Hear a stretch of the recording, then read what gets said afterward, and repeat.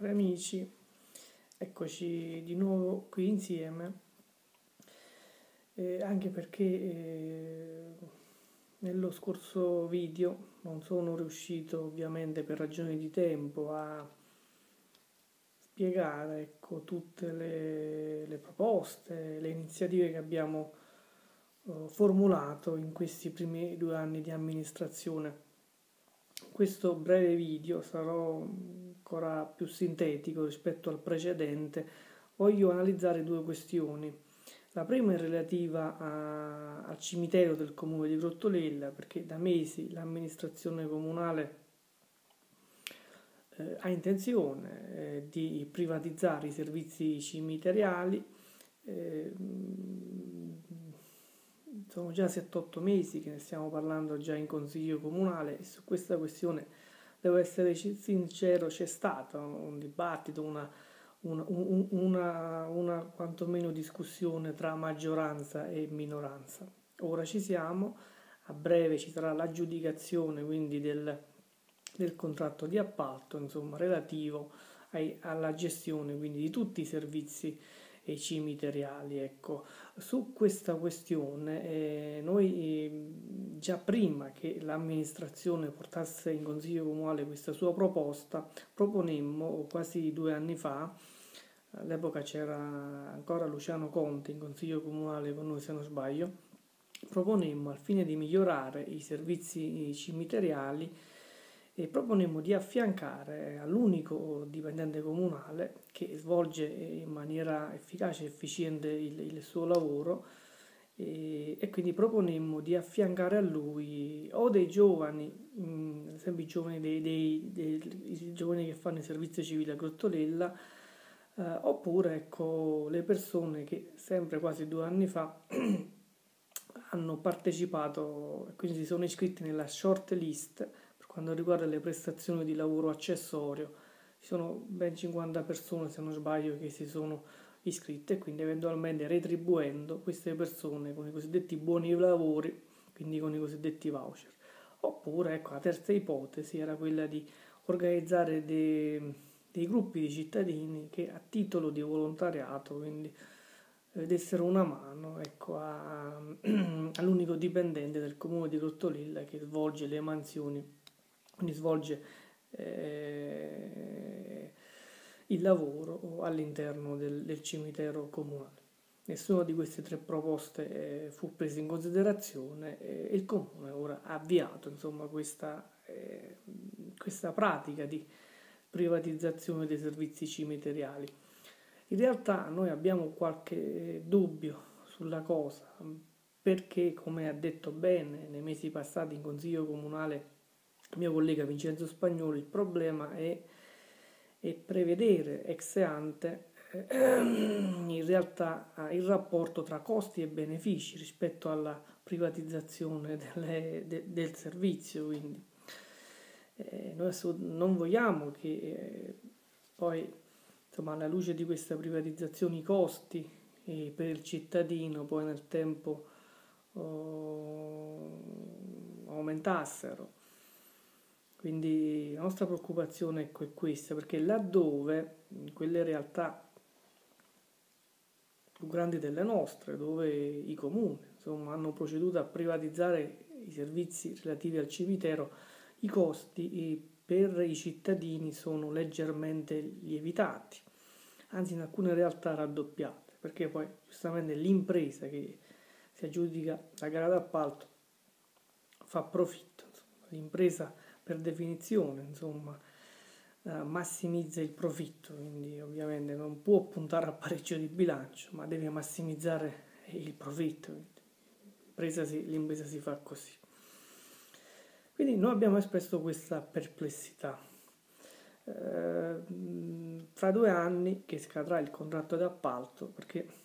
nel contratto d'appalto insomma, è previsto una durata uh, biennale, insomma vedremo se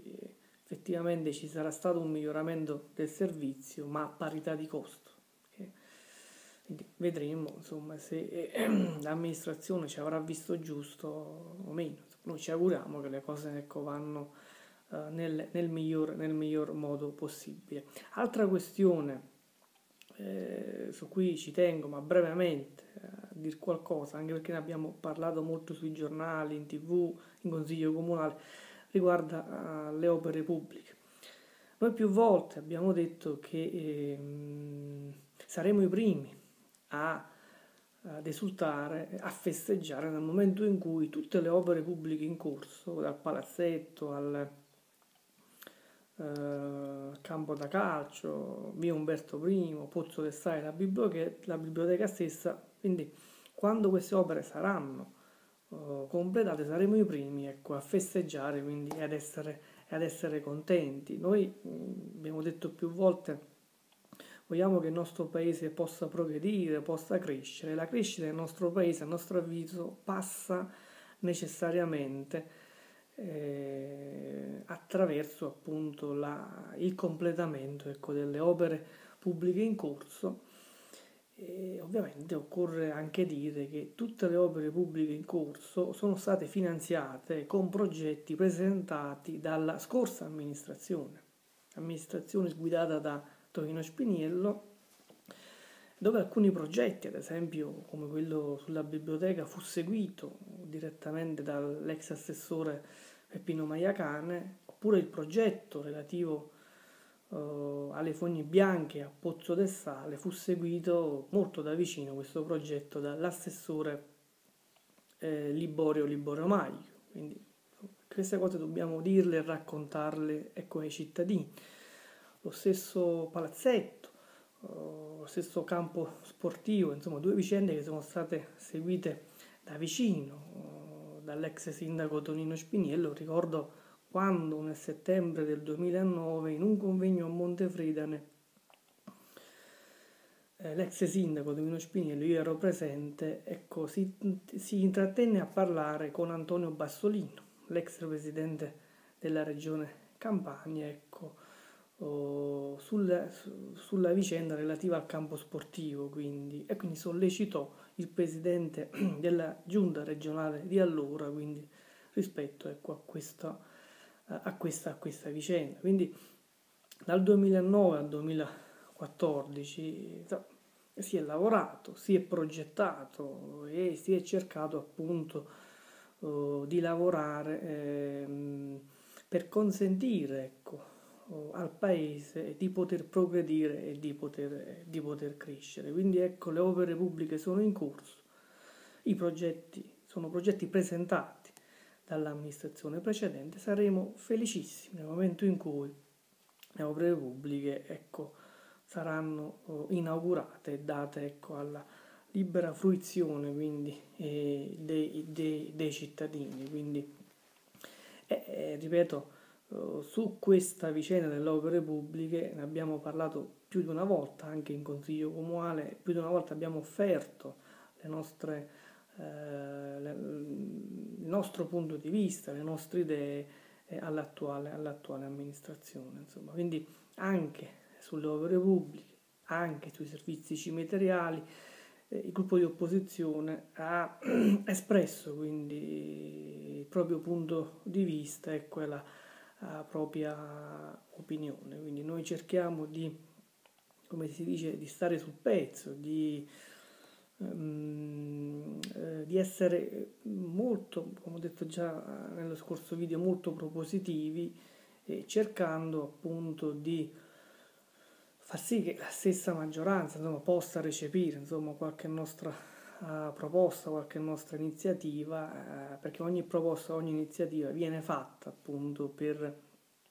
viene fatta per, eh, perché è finalizzata a rendere quindi ecco, un servizio utile alla nostra comunità. Grazie.